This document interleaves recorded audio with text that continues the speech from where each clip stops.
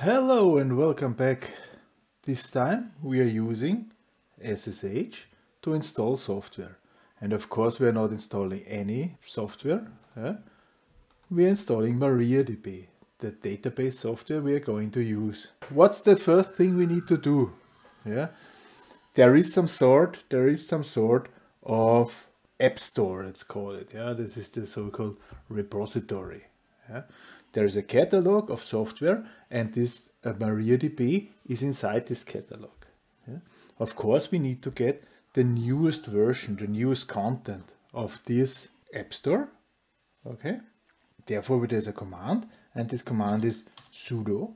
This means super user do because as standard user in Unix, I do not have the, the rights to do everything. So if I now say sudo, this means this, the I want to do this as a super user. Yeah, this is a little bit more rights.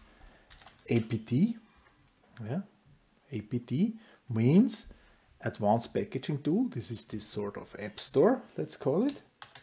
Get, yeah? and now we make an update. Okay, now this command, I will execute this. This is getting the newest content from from the app store, the, the, the catalog let's call it. Yeah, it's downloaded. takes a little while. Yeah, takes a little while, and then we do have the all the actual packages. Okay, and if we have the actual packages, yeah, we're going to upgrade as well. This means all everything which is installed on our on our Raspberry will get upgraded to the latest version. Hmm? This will do as well. We have to wait until this is finished.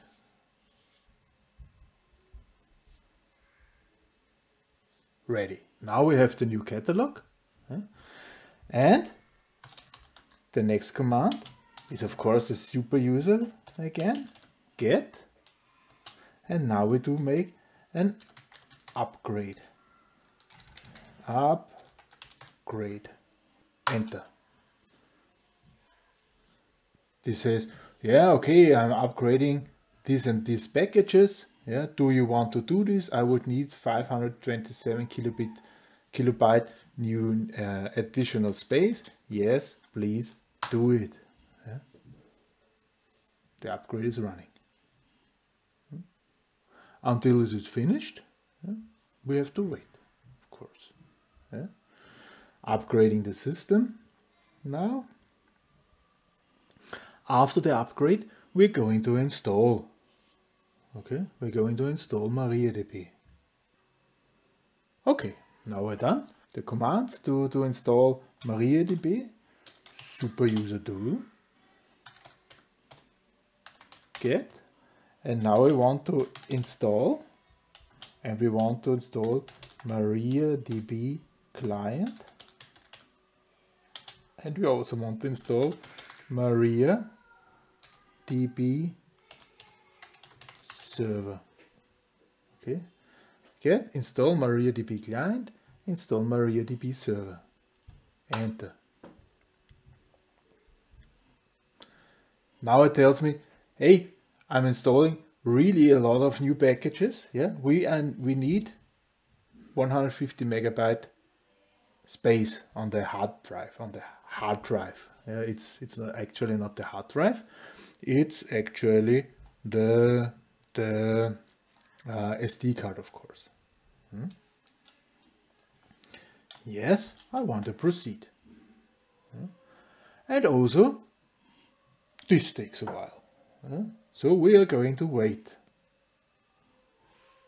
Put this on the right hand side. Is this working? Ah! I'm waiting. I'm covering a little bit of the window. Ah, yeah. It's not perfect. Maybe do it like this. Oh, I think it should work. Yeah, I'm not telling any jokes. uh, even if it would now be applicable, yeah, because we're just waiting for this to finish. Let's wait.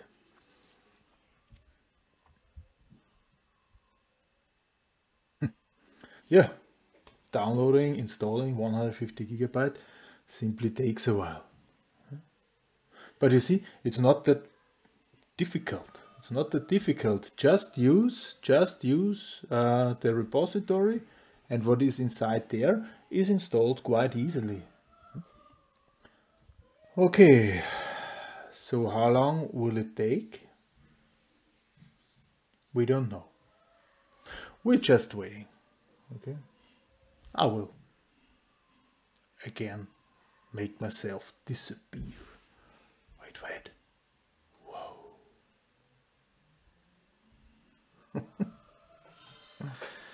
Bring this in the middle again. Yeah, this should have our uh, attention. Ooh, now it's finished. Oh, Gott sei Dank. Next thing we are going to do, we are setting up a root password. Okay, we are setting up a root password. sudo. And now, we are first time we are starting MariaDB. MariaDB is a fork. MariaDB is a fork of, of MySQL. This is why we also started with MySQL. Yeah? A fork is it is branched somehow. Yeah, there it is derived from MySQL. This means I start now MySQL as user root uh, and I want to change the password. It's P. Okay. Enter password. Yeah. Select one. Now I'm online. Yeah. Now I change the password for the root for the root. And now I want to make sure that this password is everywhere in the system. Okay, so I need to type in flush privileges. Yeah, don't forget the semicolon here. There, this is necessary because this is already an SQL statement. Yeah, we will learn this. We will learn this. Flush privileges. Okay always looking in this direction. So it will bring back, bring me back in picture. Okay, flush privileges. Yeah? The next thing we have to do is nothing. Exit. Nothing is easy. Exit. We're back. We're back in the OS. Yeah? Back into S Now, now we have to to uh, set up a configuration file. A lot of things in the Unix world are, are done by, by configuration files. To bring this configuration file, to make this configuration file, we are using a little tool called Nano. Nano is a little text editor. Okay, so I'm typing sudo nano yeah? and now I have to specify the file yeah? and this file should be in the directory etc mysql and the file should be named my.conf. Conf. Okay. Enter. Now Nano is starting. Nano says it's a new file. Yeah, you see there, new file. This means this file has not existed before, did not exist before. Yeah. Two things I'm going to enter. Yeah, port equals 3306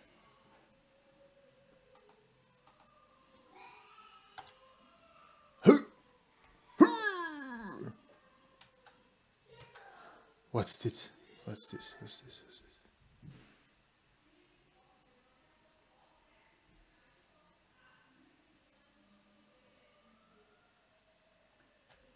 Okay.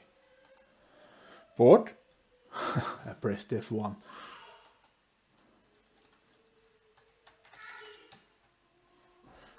See port 3 3306 okay. And bind address equals double point. That's it. This phone says the the standard port we are listening to is 306 that's the standard port for mysql and then mariadb and bind address. This means we're accepting connections from all from all networks. Standard on standard behavior, it would only accept localhost, login from localhost, and now we accept from everybody. Okay. Now we're going to save this. Press Ctrl X, yeah, and yes, we want to save it under this name, and that's it. We have we have now the configuration file. Have now the configuration file. Okay. Now we need to do some some security security things. Yeah. There is since there are a lot of options. Yeah. There is a special script, and I'm running this sudo mysql secure inst installation secure installation okay?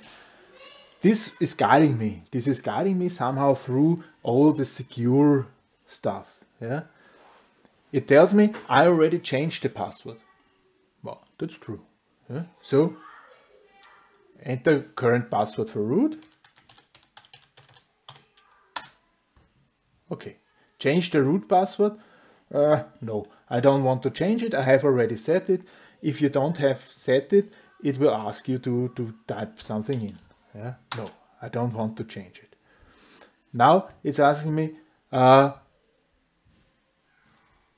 there is an anonymous user. Yes we want to delete this anonymous user. This is just for testing reasons. Uh, the root should only be allowed to log in to log in uh, from localhost. Yeah, the root is the administrator user. Yeah, it should only be allowed to log in from localhost.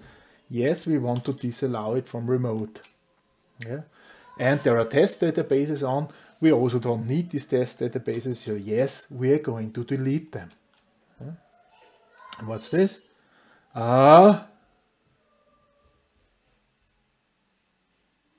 reload privileges. Okay, this is maybe, this is this flush privileges. Yes, please distribute this in our system. Yeah? Thanks for using MariaDB. Okay. Now, the only thing we want to do is to restart MariaDB again. Yeah, to have this, to have this restarted. Yeah. This can be either done by restarting the whole Pi, yeah, or by just restarting the MariaDB process. And I just restart the MariaDB process. So I type in sudo sudo uh, etc init.d mysql this is the process this is the process and then type restart okay so this will restart the MySQL process. Yeah. That's it. We're done.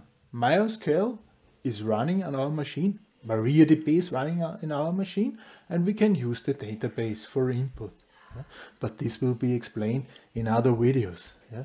Right now, I think we're happy. So